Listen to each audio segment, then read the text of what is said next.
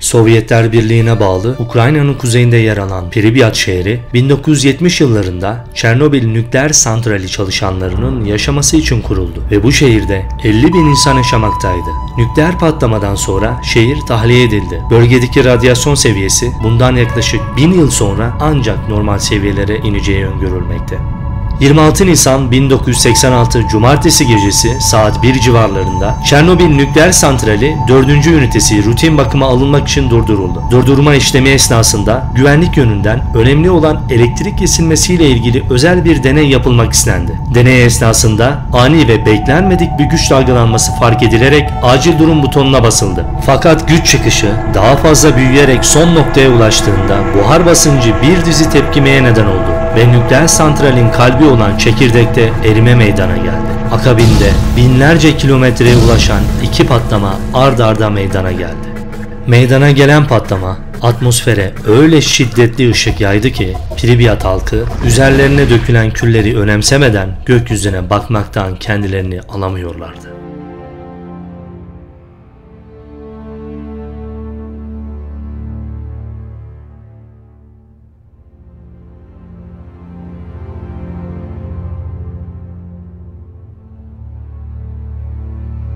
Nükleer patlamanın şiddeti, Pripyat başta olmak üzere geniş bir coğrafyaya yüksek derecede nükleer toz bulutu yaydı. Sovyetler Birliği'nin batısından Avrupa'ya ve Karadeniz üzerinden Türkiye'ye sürüklendi.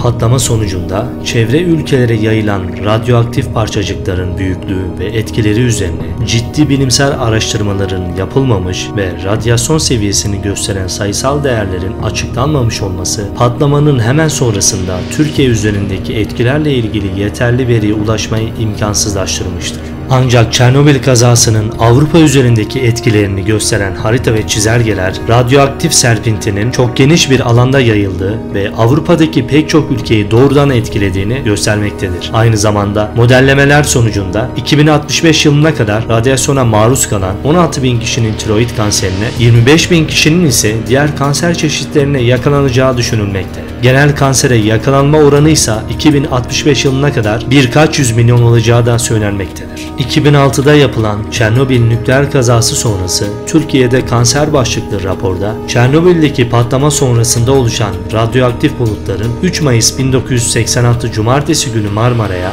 4 ila 5 Mayıs günleri Batı Karadeniz'e, 6 Mayıs günü Çankırı üzerinden Sivas'a, 7 ile 9 Mayıs tarihlerinde Trabzon, Hopa'ya ulaştığı, 10 gün sonra da tüm Türkiye'ye radyoaktif parçacıkların yayıldığı belirtilmekte.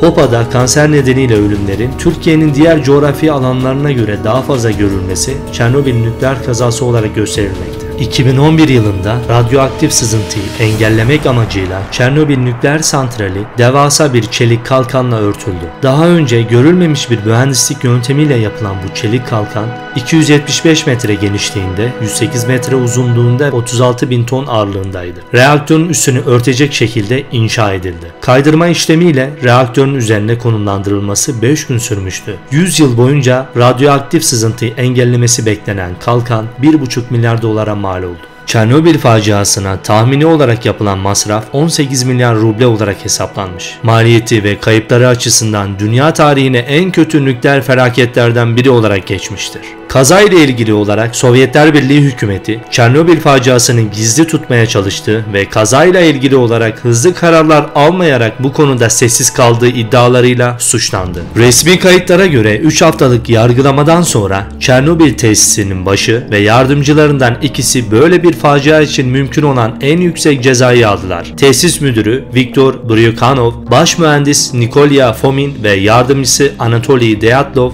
güvenlik düzenlemelerinin ağır ihlali ve patlamaya neden olan koşulların oluşturulması nedeniyle suçlu bulunduktan sonra 10 yıl hapis cezasına çarptırıldılar. Diğer 3 yetkiliye daha ceza verildi. Ancak mahkeme patlamada sorumluluğun büyük kısmını Bryukhanov, Fomin ve Dyadlov'da buldu. Patlama gerçekleşmeden önce çalışanların yaptığı erken uyarıları dikkate almadığı öne sürülen Dyadlov, Çernobil yetkilileri için çıkarılan genel affın bir parçası olarak cezasının yalnızca yarısını çekti. Serbest bırakıldıktan sonra gazetecilere konuşan konuşan Dyatlov, kendilerinin günah keçisi olarak kullanıldığını ve reaktörün en başından beri hatalı tasarlanmış olduğunu söyledi. Reaktörün ne tür bir canavar olduğunu o zaman bilseydim asla Çernobil'de çalışmaya gitmezdim ve yalnızca ben değil kimse oraya gitmezdi dedi. 4 Nisan'da çıkan orman yangınıyla dünya gündemine 34 yıl önce yaşanılan bütün acıları hatırlatan Çernobil faciası bir deney yapmak uğruna insan hatası ve ihmalkarlığı sonucunda meydana geldi. Uzun vadede çok büyük bir alana yayılan radyasyon neticesinde 4000'e yakın insanın tiroid kanserine yakalanıp öldüğü ve yüz binlerce insanın akut radyasyon sendromuna ve çeşitli hastalıklara maruz kalarak uzun vadede öldükleri bildirilmiştir.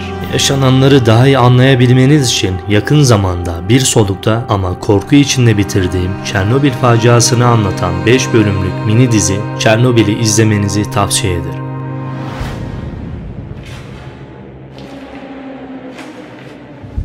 Pleased to report that the situation in Chernobyl is stable. In terms of radiation, Çernobil nükleer kazası suçsuz günahsız yüz binlerce insanın radyasyona maruz kalmasına, ölmelerine, radyasyona maruz kalan şehirlerdeki doğan çocukların engelli veyahut kansere yakalanarak dünyaya gelmesine, kansere yakalananların feryat figanlarıyla kanlı bir şekilde tarihe geçti.